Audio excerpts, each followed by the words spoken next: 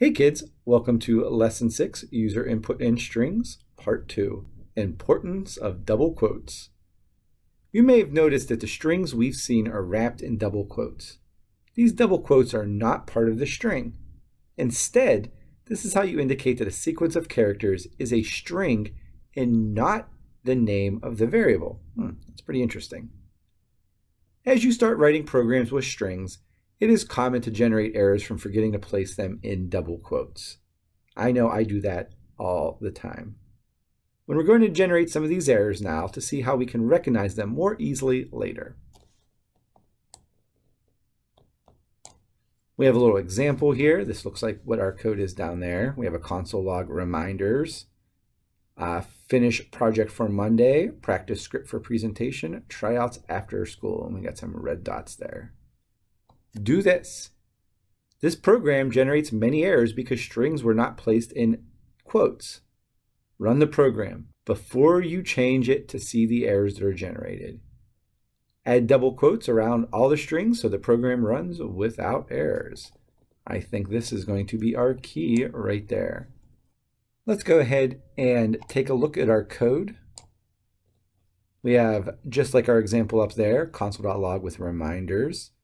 We have one saying finish project for Monday, practice script for presentation, and a final one that says tryouts after school. Let's go ahead and hit run and see what happens. As expected, we're getting an error here. I know that because I have a yellow triangle and two red squares telling me something. Hmm. I know it said these should be in quotes, so let's start off with that.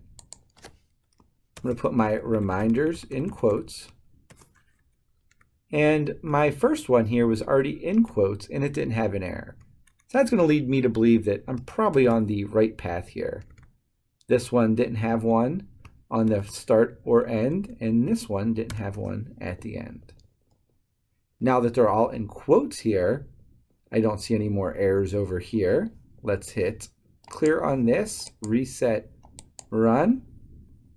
Down here we have our reminders, finish project for Monday, practice script for presentation, and tryouts after school. So those quotes right there fixed it and we got our printout in our console.log statement exactly like we should. Again, this is something I forget to do all the time. Make sure you check over it before you run your program. Save you some headaches in the future. I don't think code.org wanted anything else. Let's see if they did. Nope. Good job, kids. I'll see you on the next lesson.